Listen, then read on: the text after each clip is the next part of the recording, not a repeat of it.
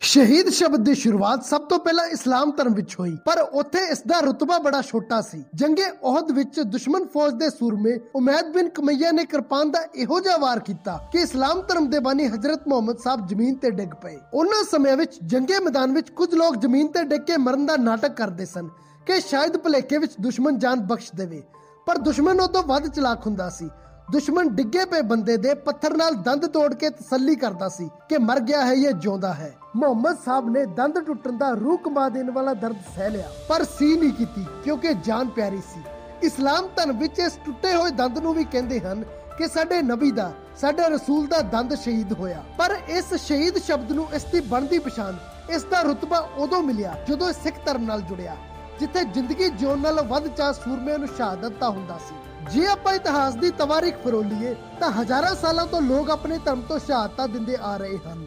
ਕਰਬਲਾ ਦੇ ਮੈਦਾਨ ਵਿੱਚ ਹਜ਼ਰਤ ਮੁਹੰਮਦ ਸਾਹਿਬ ਦੇ ਦੋਤੇ ਨੂੰ ਸ਼ਹੀਦ ਕੀਤਾ ਗਿਆ ਜਿਸ ਨੂੰ ਕਿਹਾ ਜਾਂਦਾ ਹੈ ਕਿੰਗ ਆਫ ਮਾਰਟਰਸ ਯਾਨੀ ਕਿ ਸ਼ਹੀਦਾਂ ਦਾ ਰਾਜਾ। ਤੇ ਜੇ ਹੋਰ ਪਿੱਛੇ ਚਲੇ ਜਾਈਏ, ਤਾਂ ਈਸਾਈ ਧਰਮ ਦੇ ਬਾਨੀ ਜੀਸਸ ਕ੍ਰਾਈਸਟ ਨੂੰ ਵੀ ਸੂਲੀ ਤੇ ਚੜਾ ਕੇ ਸ਼ਹੀਦ ਕੀਤਾ ਗਿਆ ਸੀ।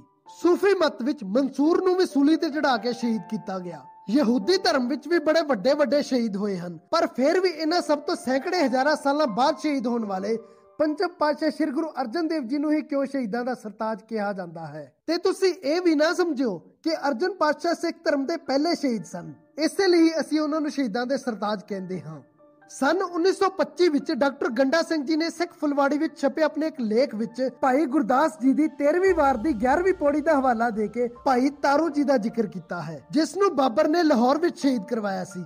ਇਹ ਭਾਈ ਤਾਰੂ ਜੀ ਵੀ ਗੁਰੂ ਨਾਨਕ ਸਾਹਿਬ ਦੇ ਸਿੱਖ ਸਨ। ਪਰ ਪੰਚਮ ਪਾਤਸ਼ਾਹ ਤੇ ਉਹਨਾਂ ਤੋਂ ਪਹਿਲਾਂ ਦੀਆਂ ਸ਼ਹਾਦਤਾਂ ਵਿੱਚ ਸਭ ਤੋਂ ਵੱਡਾ ਫ਼ਰਕ ਇਹ ਸੀ ਕਿ ਪਹਿਲੇ ਸਾਰੇ ਸ਼ਹੀਦਾਂ ਲਈ ਹਕੂਮਤ ਵੱਲੋਂ ਮੌਤ ਦਾ ਫਤਵਾ ਜਾਰੀ ਕੀਤਾ ਗਿਆ ਸੀ। ਉਹਨਾਂ ਕੋਲ ਆਪਣੀ ਜਾਨ ਬਚਾਉਣ ਦਾ ਜ਼ਿੰਦਗੀ ਜਿਉਣ ਦਾ ਕੋਈ ਰਾਹ ਨਹੀਂ ਸੀ। ਪਰ ਜਦੋਂ ਆਪਾਂ ਜਹਾਂਗੀਰ ਦੀ ਆਟੋਬਾਇਓਗ੍ਰਾਫੀ ਤੁਸਕੇ ਜਹਾਂਗੀਰੀ ਨੂੰ ਪੜ੍ਹਦੇ ਹਾਂ, ਤਾਂ ਉਹਦੇ 'ਚ ਇੱਕ ਚੈਪਟਰ ਹੈ, ਅਰਜਨ ਕਾ ਕਤਲ। ਤੇ ਜਦੋਂ ਫਾਰਸੀ ਦੀਆਂ ਇਹਨਾਂ ਲਿਖਤਾਂ ਦਾ ਅਨੁਵਾਦ ਕਰਦੇ ਹਾਂ, ਤਾਂ ਜਹਾਂਗੀਰ ਕਹਿੰਦਾ ਹੈ ਕਿ ਜਾਂ ਤਾਂ ਗੁਰੂ ਅਰਜਨ ਆਪਣੀ ਝੂਠ ਦੀ ਦੁਕਾਨ ਬੰਦ ਕਰਕੇ ਇਸਲਾਮ ਧਰਮ ਕਬੂਲ ਕਰ ਲਵੇ ਤੇ ਜਾਂ ਫਿਰ ਇਸ ਨੂੰ ਬੇਰਹਿਮੀ ਨਾਲ ਕਤਲ ਕਰ ਦਿਓ ਯਾਨੀ ਕਿ ਗੁਰੂ ਸਾਹਿਬ ਜੀ ਕੋਲ ਅੰਤ ਤੱਕ ਮੌਤ ਤੋਂ ਬਚਣ ਦਾ ਇੱਕ ਦਰਵਾਜ਼ਾ ਖੁੱਲਾ ਸੀ ਤੇ ਪੰਚਮ ਪਾਤਸ਼ਾਹ ਨੇ ਉਸ ਮੌਕੇ ਨੂੰ ਠੁਕਰਾ ਕੇ ਆਪਣੇ ਸਿਧਾਂਤਾਂ ਤੇ ਕਾਇਮ ਰਹਿੰਦੇ ਹੋਏ ਸ਼ਹੀਦੀ ਨੂੰ ਚੁਣਿਆ। ਜਦਕਿ ਉਹਨਾਂ ਤੋਂ ਪਹਿਲਾਂ ਇਹ ਮੌਕਾ ਹੋਰ ਕਿਸੇ ਨੂੰ ਨਹੀਂ ਸੀ ਮਿਲਿਆ ਕਿ ਉਹ ਆਪਣੇ ਅਕੀਦੇ ਨੂੰ ਛੱਡ ਕੇ ਆਪਣੀ ਜਾਨ ਬਚਾ ਸਕਣ। ਨਾ ਜੀਸਸ ਕ੍ਰਾਈਸਟ ਨੂੰ, ਨਾ ਮਨਸੂਰ ਨੂੰ ਤੇ ਨਾ ਹੀ ਮੁਹੰਮਦ ਸਾਹਿਬ ਦੇ ਦੋਤੇ ਨੂੰ, ਜਿਸ ਨੂੰ ਸ਼ਹੀਦਾਂ ਦਾ ਰਾਜਾ ਕਿਹਾ ਜਾਂਦਾ ਹੈ। ਤੇ ਹੁਣ ਗੱਲ ਕਰਦੇ ਹਾਂ ਗੁਰੂ ਸਾਹਿਬ ਜੀ ਦੀ ਸ਼ਹਾਦਤ ਦੇ ਕਾਰਨਾਂ ਦੀ। ਭਾਵੇਂ ਜਹਾਂਗੀਰ ਹਿੰਦੁਸਤਾਨ ਦਾ ਬਾਦਸ਼ਾਹ ਸੀ ਪਰ ਇੱਕ ਤੇਜ਼ੀ ਨਾਲ ਉੱਭਰਦੀ ਹੋਈ ਕੌਮ ਦੇ ਰਹਿਬਰ ਨੂੰ ਗ੍ਰਿਫਤਾਰ ਕਰਨਾ ਤੇ ਫਿਰ ਇਸ ਤਰ੍ਹਾਂ ਦਰਦਨਾਕ ਤਸੀਹੇ ਦੇ ਕੇ ਸ਼ਹੀਦ ਕਰਾਉਣ ਲਈ ਉਸ ਨੂੰ ਵੀ ਕੋਈ ਝੂਠਾ ਜਾਂ ਸੱਚਾ, ਪਰ ਕੋਈ ਇੱਕ ਠੋਸ ਕਾਰਨ ਜ਼ਰੂਰ ਚਾਹੀਦਾ ਸੀ। ਪਰ ਜ਼ਿਆਦਾਤਰ ਇਤਿਹਾਸਕਾਰ ਇਸ ਮਹਾਨ ਸ਼ਹਾਦਤ ਦੇ ਸਭ ਤੋਂ ਵੱਡੇ ਕਾਰਨ, ਜਿਨ੍ਹਾਂ ਕਰਕੇ ਦਿੱਲੀ ਦਾ ਤਖਤ ਵੀ ਕੰਬਦਾ ਸੀ, ਉਹਨਾਂ ਨੂੰ ਨਜ਼ਰਅੰਦਾਜ਼ ਕਰਕੇ ਛੋਟੇ-ਛੋਟੇ ਜਿਹੜੇ ਘਰੇਲੂ ਕਾਰਨ ਸਨ ਉਹਨਾਂ ਨੂੰ ਹੀ ਮੁੱਖ ਕਾਰਨਾਂ ਦੇ ਰੂਪ ਵਿੱਚ ਪੇਸ਼ ਕਰਕੇ ਇਸ ਮਹਾਨ ਸ਼ਹਾਦਤ ਦੇ ਮਿਆਰ ਨੂੰ ਨੀਵਾ ਕਰ ਦਿੰਦੇ ਹਨ। ਪਰ ਇੱਥੇ ਸਕਸੈਸ ਦਾ ਰਾਹ ਚੈਨਲ ਤੇ ਤੁਹਾਨੂੰ ਹਮੇਸ਼ਾ ਪੂਰੀ ਸੱਚੀ ਤੇ ਸਹੀ ਜਾਣਕਾਰੀ ਮਿਲਦੀ ਹੈ। ਜਿਹਦੀ ਭੁੱਖ ਲੈ ਕੇ ਤੁਸੀਂ ਇਸ ਵੀਡੀਓ ਤੇ ਕਲਿੱਕ ਕੀਤਾ ਸੀ। ਸੋ ਸਭ ਤੋਂ ਪਹਿਲਾਂ ਗੱਲ ਕਰਦੇ ਹਾਂ ਸ਼ਹਾਦਤ ਦੇ ਕੁਝ ਇਹੋ ਜਿਹੇ ਕਾਰਨਾਂ ਦੀ, ਜੋ ਇੰਨੇ ਵੱਡੇ ਤਾਂ ਨਹੀਂ ਸਨ ਕਿ ਪੰਚਮ ਪਾਤਸ਼ਾਹ ਵਰਗੇ ਉੱਚੇ ਰੁਤਬੇ ਵਾਲੀ ਸ਼ਖਸੀਅਤ ਦੀ ਸ਼ਹਾਦਤ ਲਈ ਪੂਰਨ ਰੂਪ ਨਾਲ ਜ਼ਿੰਮੇਦਾਰ ਹੋਣ। ਪਰ ਇਹਨਾਂ ਨੂੰ ਸਹਿ ਕਾਰਨਾਂ ਦੇ ਰੂਪ ਵਿੱਚ ਜ਼ਰੂਰ ਵੇਖਿਆ ਜਾ ਸਕਦਾ ਹੈ। ਉਹਨਾਂ ਸਮੇਂ ਵਿੱਚ ਚੰਦੂ ਨਾਮ ਦਾ ਇੱਕ ਬ੍ਰਾਹਮਣ ਹੁੰਦਾ ਸੀ। ਜੋ ਕਲਾਨੌਰ ਦਾ ਰਹਿਣ ਵਾਲਾ ਸੀ। ਇਹ ਸ਼ਹਿਰ ਵੈਸੇ ਬੜਾ ਵੱਡਾ ਇਤਿਹਾਸ ਸੰਭੀ ਬੈਠਾ ਹੈ ਆਪਣੀ ਬੁੱਕਲ ਵਿੱਚ। ਪੁਰਾਣੇ ਸਮੇਂ ਵਿੱਚ ਕਿਹਾ ਜਾਂਦਾ ਸੀ ਕਿ ਜਿਹਨੇ ਵੇਖਿਆ ਨਹੀਂ ਲਾਹੌਰ, ਉਹ ਵੇਖੇ ਕਲਾਨੌਰ। ਇਹ ਚੰਦੂ ਬੜਾ ਤੇਜ਼ ਬੰਦਾ ਸੀ। ਕੁਝ ਆਪ ਕਾਬਲ ਸੀ ਤੇ ਕੁਝ ਵਕਤ ਨੇ ਸਾਥ ਦਿੱਤਾ। ਤੇ ਫਿਰ ਇੱਕ ਦਿਨ ਇਹੋ ਜਿਹਾ ਆਇਆ, ਜਦੋਂ ਲਾਹੌਰ ਦਰਬਾਰ ਦੇ ਦਰਬਾਰੀ ਦੇ ਰੂਪ ਵਿੱਚ ਇਸ ਨੂੰ ਚੁਣ ਲਿਆ ਗਿਆ। ਜਦੋਂ ਚੰਦੂ ਦੀ ਧੀ ਵਿਆਹਣ ਲਾਇਕ ਉਮਰ ਦੀ ਹੋਈ, ਤਾਂ ਉਸਨੇ ਆਪਣੇ ਦਰਬਾਰ ਦੇ ਪੁਰੋਹਿਤ ਨੂੰ ਕਿਸੇ ਵਧੀਆ ਜਿਹੇ ਘਰ ਦਾ ਰਿਸ਼ਤਾ ਲੱਭਣ ਦੀ ਪੇਸ਼ਕਸ਼ ਕੀਤੀ। ਜਦੋਂ ਪੁਰੋਹਿਤ ਨੇ ਇਸ ਰਿਸ਼ਤੇ ਬਾਰੇ ਸੋਚਣਾ ਸ਼ੁਰੂ ਕੀਤਾ, ਤਾਂ ਉਹਦਾ ਦਿਮਾਗ ਇੱਕ ਇਹੋ ਜਿਹੇ ਪਰਿਵਾਰ ਤੇ ਆ ਕੇ ਖੜ ਗਿਆ, ਜਿਹਦੇ ਬਰਾਬਰ ਦੀ ਇੱਜ਼ਤ, ਜਿਹਦੇ ਬਰਾਬਰ ਦਾ ਰੁਤਬਾ ਇਲਾਕੇ ਵਿੱਚ ਹੋਰ ਕਿਸੇ ਦਾ ਨਹੀਂ ਸੀ। ਪੁਰੋਹਿਤ ਪਹੁੰਚਿਆ ਸਿੱਧਾ ਸ੍ਰੀ ਗੁਰੂ ਅਰਜਨ ਪਾਤਸ਼ਾਹ ਦੇ ਦਰਬਾਰ ਵਿੱਚ ਤੇ ਉਹਨਾਂ ਸਾਹਮਣੇ ਆਪਣੇ ਲਖਤੇ ਜਿਗਰ ਸ੍ਰੀ ਗੁਰੂ ਹਰਗੋਬਿੰਦ ਰਾਏ ਲਈ ਚੰਦੂ ਦੀ ਧੀ ਦੀ ਰਿਸ਼ਤੇ ਦੀ ਪੇਸ਼ਕਸ਼ ਕਰ ਦਿੱਤੀ। ਗੁਰੂ ਸਾਹਿਬ ਜੀ ਨੇ ਸੋਚਿਆ ਕਿ ਸਾਹਮਣੇ ਵਾਲੇ ਆਪ ਦਰ ਤੇ ਬੇਨਤੀ ਲੈ ਕੇ ਆਏ ਹਨ ਸੋ ਉਹਨਾਂ ਨੇ ਸੰਗਤ ਨਾਲ ਸਲਾਹ مشਵਰਾ ਕਰਕੇ ਰਿਸ਼ਤੇ ਲਈ ਹਾਂ ਕਰ ਦਿੱਤੀ। ਅਗਲੇ ਦਿਨ ਪੁਰੋਹਿਤ ਚਾਈ ਚਾਈ ਚੰਦੂ ਨੂੰ ਮਿਲਣ ਆਇਆ। ਬੜਾ ਖੁਸ਼ ਸੀ ਕਿ ਇੰਨੇ ਵਧੀਆ ਘਰੇ ਰਿਸ਼ਤਾ ਪੱਕਾ ਕਰਕੇ ਆਇਆ ਹਾਂ। ਉਸ ਨੂੰ ਦੱਸਣ ਦੀ ਇੰਨੀ ਕਾਲੀ ਸੀ ਕਿ ਉਹ ਸਿੱਧਾ ਦਰਬਾਰ ਵਿੱਚ ਹੀ ਪਹੁੰਚ ਗਿਆ। ਜਦ ਉਸਨੇ ਦੱਸਿਆ ਕਿ ਮੈਂ ਰਿਸ਼ਤੇ ਦੀ ਗੱਲ ਸ੍ਰੀ ਗੁਰੂ ਰਾਮਦਾਸ ਜੀ ਦੇ ਪੋਤਰੇ ਤੇ ਸ੍ਰੀ ਗੁਰੂ ਅਰਜਨ ਦੇਵ ਜੀ ਦੇ ਪੁੱਤਰ ਹਰਗੋਬਿੰਦ ਨਾਲ ਚਲਾਈ ਹੈ, ਤਾਂ ਸੁਣ ਕੇ ਚੰਦੂ ਨੇ ਮੱਥੇ ਤੇ ਹੱਥ ਮਾਰ ਲਿਆ। ਕਹਿਣ ਲੱਗਾ, ਤੂੰ ਗੱਲ ਸ਼ੁਰੂ ਕਰਨ ਤੋਂ ਪਹਿਲਾਂ ਮੇਰੇ ਰੁਤਬੇ ਦਾ ਦਾ ਖਿਆਲ ਕਰ ਲੈਣਾ ਸੀ। ਕਿੱਥੇ ਅਸੀਂ ਖਾਨਦਾਨੀ ਅਮੀਰ ਤੇ ਕਿੱਥੇ ਮੁੰਡੇ ਦਾ ਦਾਦਾ ਤਾਂ ਕੱਲ ਤੱਕ ਘੁੰਗਰੀਆਂ ਵੇਚਦਾ ਫਿਰਦਾ ਸੀ। ਅੱਜ ਚਾਰ ਬੰਦੇ ਮੱਥਾ ਟੇਕਣ ਆਉਣ ਲੱਗ ਪਏ, ਤਾਂ ਤੂੰ ਉਹਨੂੰ ਸਾਡੇ ਨਾਲ ਰਲਾਤਾ। ਮੈਨੂੰ ਤਾਂ ਇੰਜ ਜਾਪਦਾ ਜਿਵੇਂ ਤੂੰ ਚੁਬਾਰੇ ਦੀ ਇੱਟ ਚੁੱਕ ਕੇ ਗੰਦੀ ਨਾਲੀ ਵਿੱਚ ਲਾ ਆਇਆ ਹੋਵੇ। ਕਈ ਵਾਰ ਹੰਕਾਰਿਆ ਬੰਦਾ ਬੋਲਣ ਲੱਗਾ ਆਪਣੇ ਸ਼ਬਦਾਂ ਦਾ ਭਾਰ ਨਹੀਂ ਵੇਖਦਾ, ਕਿਉਂਕਿ ਦਰਬਾਰ ਵਿੱਚ ਸਿੱਖ ਸੰਗਤ ਦੇ ਵੀ ਕੁਝ ਲੋਕ ਮੌਜੂਦ ਸਨ। ਸੋ ਸ਼ਾਮ ਨੂੰ ਉਹਨਾਂ ਨੇ ਰਲ ਕੇ ਸਲਾਹ ਕੀਤੀ ਕਿ ਅੱਜ ਤਾਂ ਚੰਦੂ ਨੇ ਹੱਦ ਪਾਰ ਕਰਤੀ। ਸਿੱਖਾਂ ਨੇ ਰਲ ਕੇ ਗੁਰੂ ਪਾਤਸ਼ਾਹ ਨੂੰ ਚਿੱਠੀ ਲਿਖ ਸਾਰੀ ਗੱਲਬਾਤ ਕਹਿ ਸੁਣਾਈ। ਉਧਰ ਅਗਲੇ 2-3 ਦਿਨਾਂ ਵਿੱਚ ਚੰਦੂ ਦੇ ਰਿਸ਼ਤੇਦਾਰਾਂ ਨੇ ਸਮਝਾ ਬੁਝਾ ਕੇ ਉਸ ਨੂੰ ਰਿਸ਼ਤੇ ਲਈ ਮਨਾ ਲਿਆ। ਕੁਝ ਦਿਨਾਂ ਬਾਅਦ ਜਦੋਂ ਚੰਦੂ ਦੇ ਰਿਸ਼ਤੇਦਾਰ ਸ਼ਗਨ ਦਾ ਸਮਾਨ ਲੈ ਕੇ ਗੁਰੂ ਦਰਬਾਰ ਵਿੱਚ ਪਹੁੰਚੇ, ਤਾਂ ਗੁਰੂ ਸਾਹਿਬ ਜੀ ਚਿੱਠੀ ਪੜ ਚੁੱਕੇ ਸਨ। ਗੁਰੂ ਸਾਹਿਬ ਫਰਮਾਏ, ਚੰਦੂ ਨੇ ਗੁਰੂ ਰਾਮਦਾਸ ਜੀ ਦੇ ਘਰ ਦੀ ਬੜੀ ਨਿੰਦਿਆ ਕੀਤੀ ਹੈ। ਅਸੀਂ ਹੁਣ ਇਸ ਰਿਸ਼ਤੇ ਲਈ ਰਾਜੀ ਨਹੀਂ ਹਾਂ। ਪਰ ਇਹ ਨਾ ਸਮਝੋ ਕਿ ਅਸੀਂ ਹਾਂ ਕਰਕੇ ਰਿਸ਼ਤਾ ਤੋੜ ਦਿੱਤਾ। ਇਹ ਰਿਸ਼ਤਾ ਚੰਦੂ ਦੇ ਕੋੜੇ ਬੋਲਾ ਕਰਕੇ ਟੁੱਟਿਆ ਹੈ। ਜਿਹੜਾ ਹਾਕਮ ਹੁੰਦਾ ਹੈ ਨਾ ਉਸ ਨੂੰ ਨਾ ਸੁਣਨ ਦੀ ਆਦਤ ਨਹੀਂ ਹੁੰਦੀ। ਪਰ ਜਦੋਂ ਚੰਦੂ ਨੂੰ ਗੁਰੂ ਘਰ ਤੋਂ ਨਕਾਰ ਦਿੱਤਾ ਗਿਆ, ਤਾਂ ਉਹ ਗੁੱਸੇ ਨਾਲ ਅੰਦਰੋਂ ਅੰਦਰੀ ਰਿੱਝਣ ਲੱਗ ਪਿਆ। ਇੱਥੇ ਆਮ ਤੌਰ ਤੇ ਇਤਿਹਾਸ ਵਿੱਚ ਇਹ ਪ੍ਰਚਾਰਿਆ ਜਾਂਦਾ ਹੈ ਕਿ ਚੰਦੂ ਆਪਣੀ ਬੇਇੱਜ਼ਤੀ ਬਰਦਾਸ਼ਤ ਨਹੀਂ ਕਰ ਸਕਿਆ ਤੇ ਉਸਨੇ ਸਮੇਂ ਦੇ ਹਾਕਮਾਂ ਨੂੰ ਭੜਕਾ ਕੇ ਗੁਰੂ ਸਾਹਿਬ ਜੀ ਨੂੰ ਗ੍ਰਿਫਤਾਰ ਕਰਵਾ ਕੇ ਸ਼ਹੀਦ ਕਰਵਾ ਦਿੱਤਾ। ਪਰ ਅਸਲ ਵਿੱਚ ਚੰਦੂ ਦੀ ਕੋਈ ਇੰਨੀ ਅਹਿਮੀਅਤ ਨਹੀਂ ਸੀ ਕਿ ਉਹ ਹਿੰਦੁਸਤਾਨ ਦੇ ਬਾਦਸ਼ਾਹ ਤੱਕ ਪਹੁੰਚ ਕਰ ਸਕੇ। ਉਸ ਸਮੇਂ ਹਿੰਦੁਸਤਾਨ ਦਾ ਗਵਰਨਰ ਸੀ ਕੁਲੀਜ਼ ਖਾਨ। ਮੁਗਲ ਫੌਜ ਦਾ ਕਮਾਂਡਰ ਹੁੰਦਾ ਸੀ ਸ਼ੇਖ ਫਰੀਦ ਬੁਖਾਰੀ ਤੇ ਹਿੰਦੁਸਤਾਨ ਦਾ ਬਾਦਸ਼ਾਹ ਸੀ ਜਹਾਂਗੀਰ।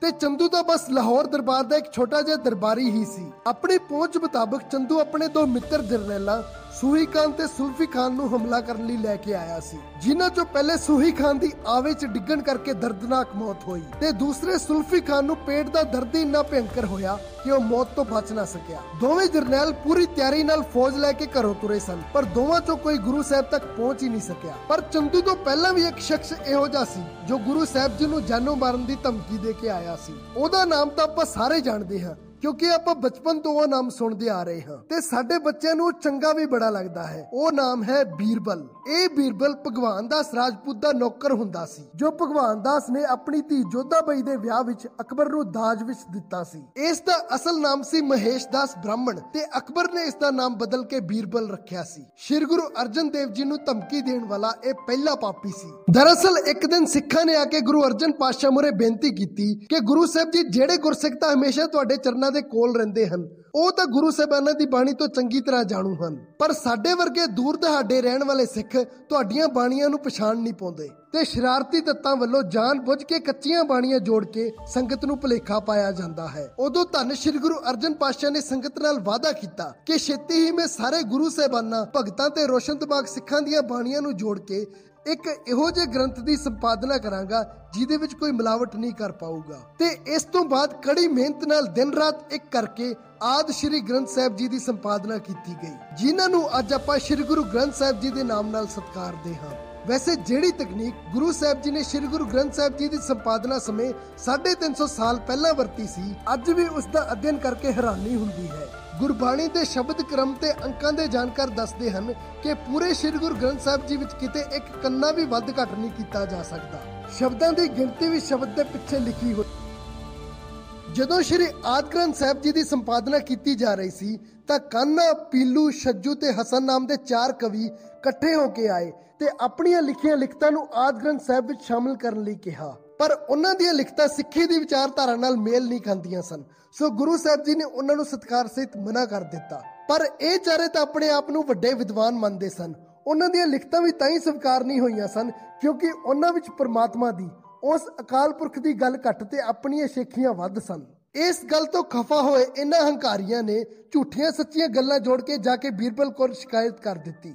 ਇਹ ਉਹੀ ਸਮਾਂ ਸੀ ਜਦੋਂ ਰਾਜਗੱਦੀ ਤੇ ਜਹਾਂਗੀਰ ਨਹੀਂ ਉਸ ਦਾ ਪਿਤਾ ਅਕਬਰ ਕਾਬਜ ਸੀ। ਤੇ ਬੀਰਬਲ ਦਾ ਅਕਬਰ ਦੇ ਦਰਬਾਰ ਵਿੱਚ ਕੀ ਰੁਤਬਾ ਸੀ, ਇਹ ਤਾਂ ਆਪਾਂ ਸਾਰੇ ਜਾਣਦੇ ਹਾਂ। ਇਹਨਾਂ ਚਾਰੇ ਕਵੀਆਂ ਦਾ ਚੱਕਿਆ ਚਕਾਇਆ ਬੀਰਬਲ ਗੁਰੂ ਪਾਤਸ਼ਾਹ ਨੂੰ ਧਮਕੀ ਦੇ ਕੇ ਗਿਆ ਸੀ ਕਿ ਮੈਂ ਚੱਲਿਆ ਹਾਂ ਅਫਗਾਨਿਸਤਾਨ ਵੱਲ ਤੇ ਜੇ ਮੇਰੇ ਹੁਣ ਤੱਕ ਤੂੰ ਆਪਣੀ ਇਹ ਸਿੱਕੀ ਦੀ ਦੁਕਾਨ ਬੰਦ ਨਾ ਕੀਤੀ, ਤਾਂ ਆਪਣੀ ਮਾੜੀ ਹਾਲਤ ਲਈ ਤੂੰ ਆਪ ਜ਼ਿੰਮੇਵਾਰ ਹੋਏਗਾ। ਤੇ ਅੱਗਿਓਂ ਮੇਰੇ ਗੁਰੂ ਪਾਤਸ਼ਾਹ ਨੇ ਮੁਸਕਰਾ ਕੇ ਕਿਹਾ ਸੀ ਕਿ ਜਦੋਂ ਆਵੇਂਗਾ, ਉਦੋਂ ਵੇਖਾਂਗੇ। ਤੇ ਆਪਣੇ ਆਪ ਨੂੰ ਖੱਬੀ ਖਾਂ ਕਹਾਉਣ ਵਾਲਾ ਇਹ ਬਿਰਬਲ ਕਦੀ ਅਫਗਾਨਿਸਤਾਨ ਤੋਂ ਮੁੜ ਕੇ ਹੀ ਨਹੀਂ ਆਇਆ।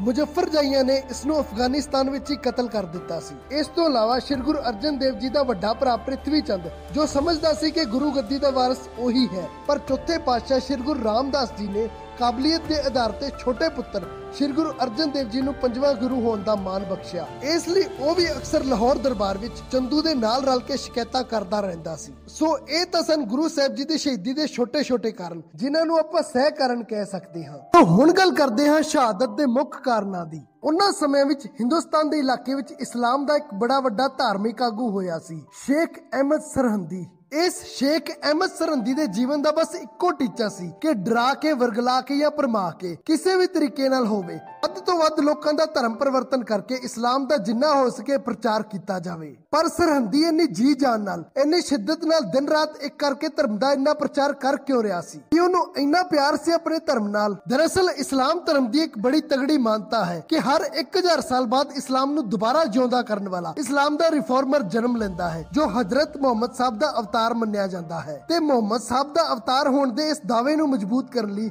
ਸਰਹੰਦੀ ਇੰਨੀ ਭੱਜ ਦੌੜ ਕਰ ਰਿਹਾ ਸੀ। ਧਰਮ ਦਾ ਇੰਨਾ ਤਗੜਾ ਪ੍ਰਚਾਰਕ ਹੋਣ ਕਰਕੇ ਮੁਸਲਮਾਨ ਸਮਾਜ ਵਿੱਚ ਸਰਹੰਦੀ ਦਾ ਬੜਾ ਤਗੜਾ ਰੁਤਬਾ ਸੀ। ਤੇ ਛੋਟੇ ਸਾਹਿਬਜ਼ਾਦਿਆਂ ਨੂੰ ਸ਼ਹੀਦ ਕੀਤਾ ਗਿਆ, ਉਸ ਸਰਹੰਦ ਰਿਆਸਤ ਦਾ ਨਾਮ ਵੀ ਇਸੇ ਸਰਹੰਦੀ ਦੇ ਨਾਮ ਤੇ ਹੀ ਪਿਆ ਸੀ। ਕਈ ਵਾਰ ਤਾਂ ਇਹ ਗੱਲਾਂ ਸੋਚ-ਸੋਚ ਕੇ ਬੜੀ ਹੈਰਾਨੀ ਹੁੰਦੀ ਹੈ ਕਿ ਸਾਡੀ ਕੌਮ ਕਿੰਨੀ ਛੇਤੀ ਮਗਰ ਲੱਗ ਜਾਂਦੀ ਹੈ, ਜਿੱਥੇ ਅੱਜ ਫਤਿਹਗੜ੍ਹ ਸਾਹਿਬ ਗੁਰੂ ਘਰ ਸੁਸ਼ੋਭਿਤ ਹੈ। ਤੋਂ ਥੋੜੀ ਜਿਹੀ ਦੂਰ ਹੀ ਸਰਹੰਦੀ ਦੀ ਥਾਂ ਵੀ ਬਣੀ ਹੋਈ ਹੈ ਤੇ ਸਾਡੇ ਸਿੱਖ ਕੀ ਕਰਦੇ ਹਨ? ਉੱਥੇ ਸਰਹੰਦੀ ਦੀ ਥਾਂ ਤੇ ਜਾ ਕੇ ਹੀ ਮੱਥੇ ਟੇਕੀ ਜਾਂਦੇ ਹਨ।